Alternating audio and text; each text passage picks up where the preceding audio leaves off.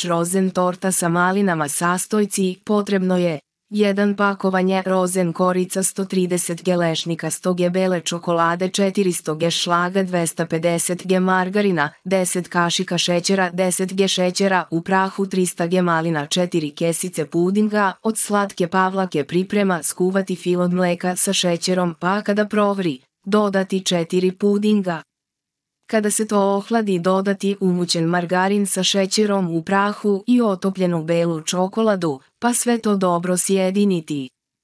Posebno umutiti 200 g šlaga i filovati tortu sledećim redom, korica fil mleveni lešnik šlag i tako redom, a na pola torte staviti maline, pa opet nastaviti sa filovanjem.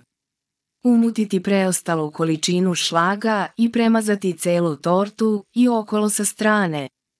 Za najnovije recepte kliknite zvons like i subscribe.